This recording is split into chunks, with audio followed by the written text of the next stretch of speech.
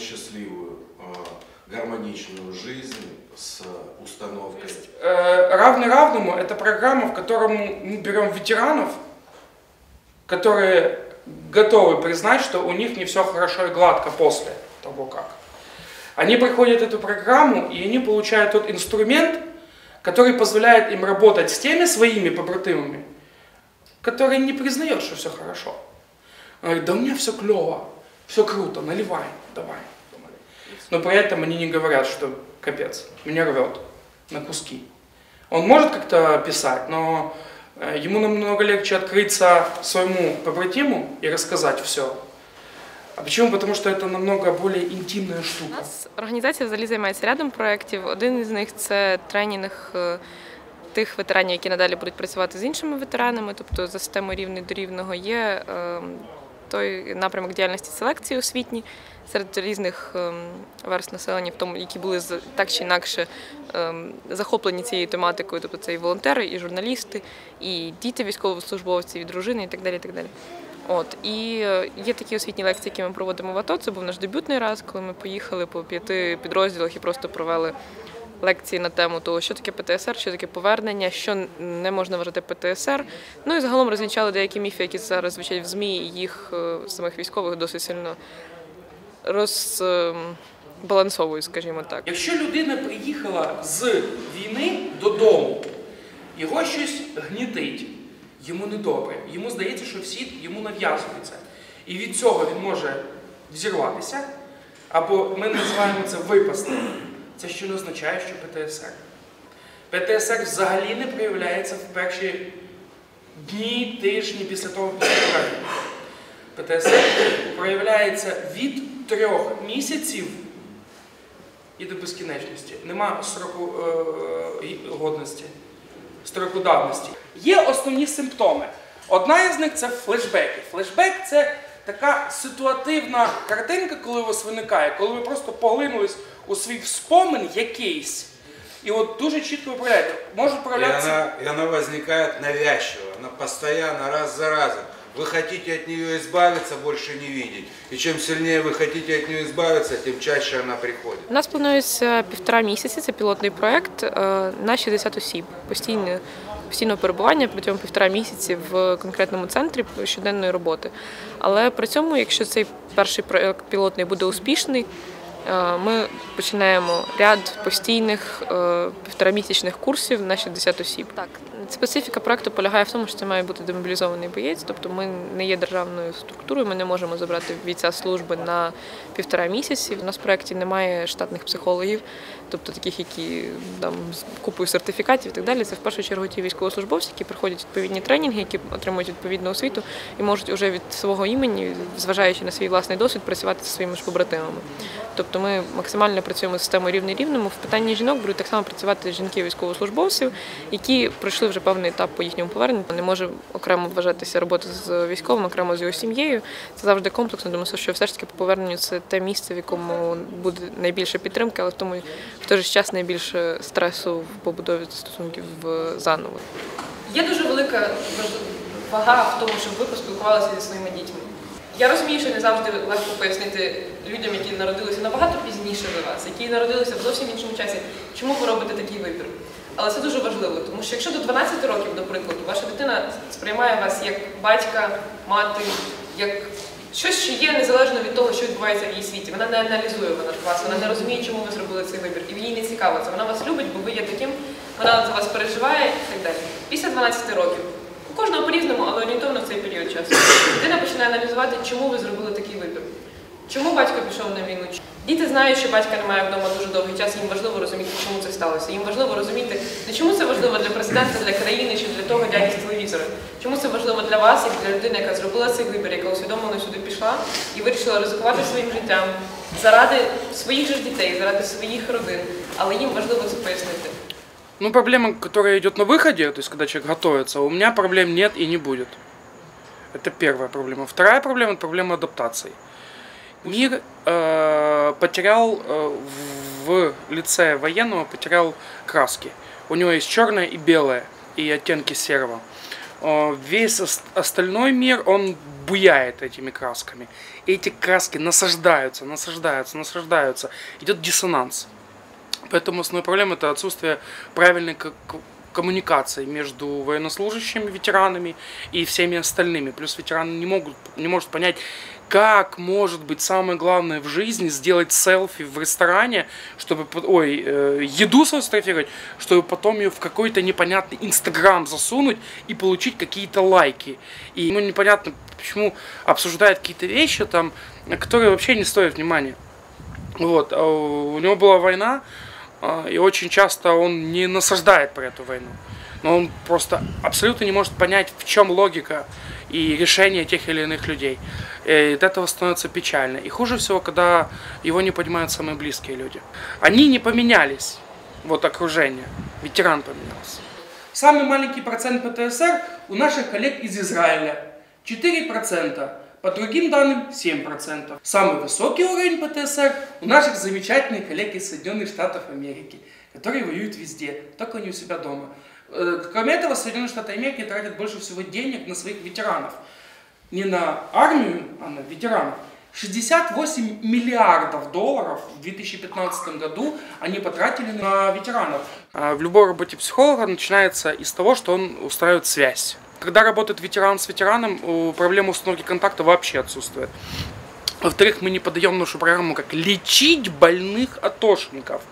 Это похоже на образовательную программу. Причем образование не просто м, э, основы менеджмента, прочитаем все, мы все счастливы. У нас отличается проект э, критериями успешности. Для нас оценка не то, что он прошел программу, а какой результат он получил после программы. Что об этом скажет работодатель, что об этом скажет его семья, друзья, родственники. Таких проблем не бачу, окрім однієї, це сім'я. Тобто, як е, вона буде сприймати мене, я не знаю. Ну, Это адаптация, наверное. Ну, привыкнуть к этому всему бурлению этого общества, которое там двигается, все время там туда-сюда бегает. Как бы. Мы не хотим сделать их зависимыми от психолога, психиатра, социального работника. Мы хотим дать ему удочку, чтобы он сам научился приемам, которые ему будут помогать в жизни. И чтобы он с нами встречался как со старыми знакомыми, и все. Да, ну у меня военная служба была в 87-89 год. А, В 89-м я демобилизовался, это был Афганистан, это были разные точки. Ну, Я как, как все э, обычные ребята 21 года, когда пришел, думаю, я же нормальный, все, все у меня в порядке, все у меня хорошо. Потом поступил в один вуз, бросил, второй вуз бросил. И вот как-то меня так кидало, и я поступил потом э, в Харьков на психологию. Так с этим понятием, что у меня все в порядке, я э, прожил ну, достаточно э, большой такой путь. Да? И когда начались уже непосредственно вот события, связанные с Украиной, Майдан, и потом э, война, э, здесь ситуация, э, ситуация чуть-чуть изменилась, и я понял, что я могу уже там, давать чуть-чуть, чуть-чуть больше. Потому что ПТСР это уже диагноз, это клиника, и ну, я не уверен, что это вот э, может носить такие большие масштабы, да, там именно ПТСР. Но я знаю, что э, даже люди, которые не получают такого диагноза, диагноза э, несут за собой ворох э, неразрешенных проблем, которые в армии стали более актуальными, актуализировались, может быть, усилились даже. И это мешает просто строить нормальную жизнь. То есть мирную жизнь э, с этим строить тяжело. И э, мой опыт показывает, что самостоятельно э, можно справляться, можно пытаться справляться, но если есть правильные инструменты и э, люди, которым ты доверяешь, то можно, э, можно с этим, э, ну, ну, нужно и можно этому помогать. Этого мы хотим рассказать вам а, несколько, несколько техник, которые сейчас вам в этой ситуации, кто-то из вас даже может что-то и использует, но они вот некоторым помогут. Постараемся структурировать. Что такое слишком много переживаний у одного человека? Это когда накатываются проблемы со всех сторон, и я сам уже не в силах с этим справиться. Бывает такое, да? Их кажется столько, что я под, под этими проблемами начинаю, начинаю где-то гнуться, каким бы сильным я не был. Потому что их слишком много, ни одного. Какой выход? Раздели эту проблему на части и распредели. У каждого из вас есть перечень людей, занятыми теми или иными, являющимися специалистами в, теме, те- в тех или иных вопросах. Заметьте одну важную вещь. Это не обязательно близкие друзья, не обязательно близкие друзья, и это не обязательно родственники. Техника – это безопасные люди, безопасное место. Техника – безопасные люди. Это техника э, распределения проблемы э, на части и подбор для решения этих проблем безопасных людей, которые могут в этом плане помочь. Это позволяет человеку не переполняться проблемами, не оставаться один на один со своей проблемой, а использовать тот ресурс, который у каждого человека в жизни есть. Вторая техника – безопасное место.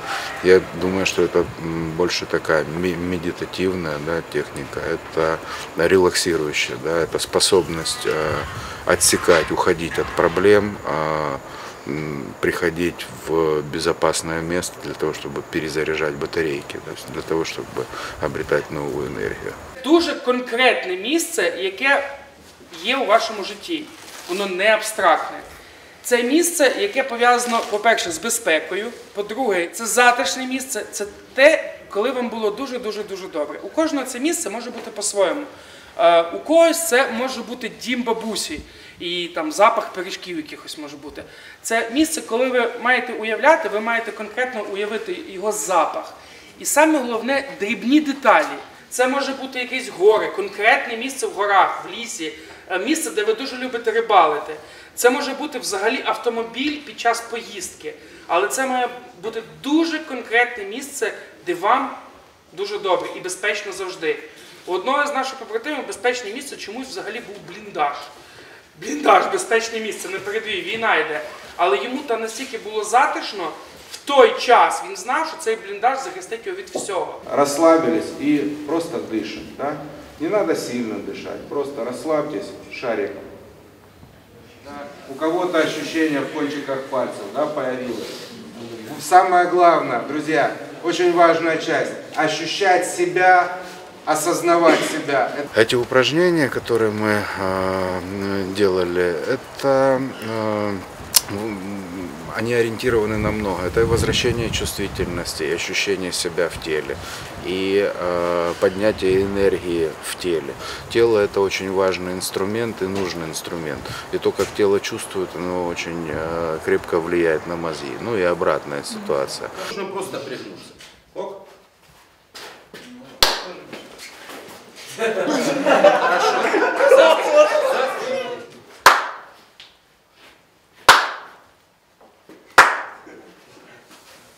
Собрался.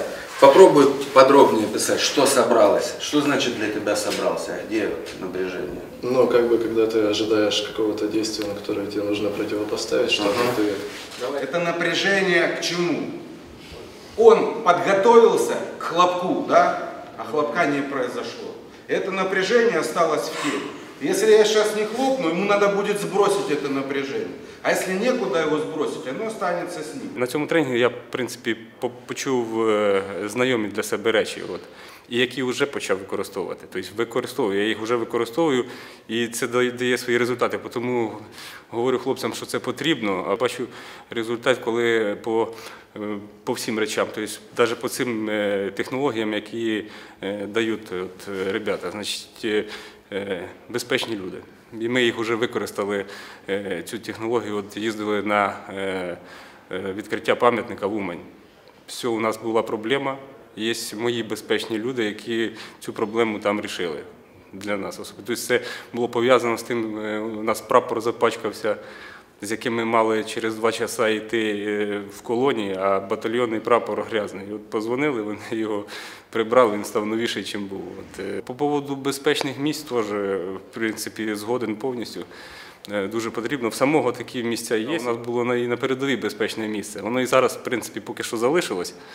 Я вважаю, що воно там є для тих е, солдатів, які там зараз знаходяться. Ялинка, е, вогоньки якісь такі бігущі. І це я зараз пригадав, я навіть запах той, і потріскування буржуйки, я пам'ятаю, так як це чесно. Да, упражнення дуже цікаве. Оце я, кстати, е, треба спробувати. Оце, це, тропічний дощ, да, простий, ну доволі таки класний. Перш за все, я фельдшер, і я працював на швидкій. Е, Паралельно навчався, і... але збагнувши, що знаходжусь не на тому місці, де має бути, і плюс е, бажання здобути новий досвід, нові навики і взагалі е, люблячи такі більш екстремальні ситуації, то ну і ще додатковим фактором це те, що послужило те, що в мене батько пішов теж в Азов. Тому я зрозумів, що пора. Я був е, в мобільних бригадах е, Майдану, ну, які курсували по, по території там, і надавали медичну допомогу. І після, звичайно, мені поставили діагноз ПТСР, ну, ну як сказати, но фактично його не було. Були легкі, як сказати, зміни з допомогою, ну, друг, який, можна сказати, психокоректор, якщо як він так називається, з допомогою гіпнозу допоміг мені вийти з цього стану і, і направити мене якраз здобути те, чого я хотів. Тобто, Якась супер попсова рожевого кольору автомобіль в стразиках. І власне ми почули певну кількість інструментів, як себе можна вдосконалити, як себе можна врівноважити. Бо кожен е, був в різній ситуації бойовій, е, кожен був певному своєму пеклі перебував. І хто повернувся чи то додому, чи в батальйон, е, має е, для себе якось врівноважитися. Отже, ми маємо, тобто у нас є своє братство, ми всі побратими, і кожен може поділитися своїми переживаннями, але власне є в тих переживаннях є свій внутрішній світ, своя тиша, коли ти маєш побути, сам на самотності своїй, так і себе знайти і зрозуміти, що ти пережив і як рухатись далі. Отже, і аналізуючи думки інших людей, те, що вони переживали, е, сам усвідомлюю, що є певна така плинність часу, коли вояки переживають ті самі проблеми. І зараз в цей час, коли відбувається війна на сході України, ми знову ж таки е, слухаємо побратимів, які 10-20 років назад воювали чи інші брали участь в інших операціях. Ми е, усвідомлюємо те, що наша боротьба військова, вона вона має певну кількість повторень. Так? Кожен тримає в руках автомат, кожен здійснює якісь бойові виходи, і власне проблеми психологічні у кожного характерно однакові. Сейчас расслабили пальчики, вот так сделали, и начинаем отрабатывать. Те, те, с кем просто старайтесь ощущения, ощущения понять свои. Вот здесь порой... Те, над кем работают, ощущения свои. Мощно.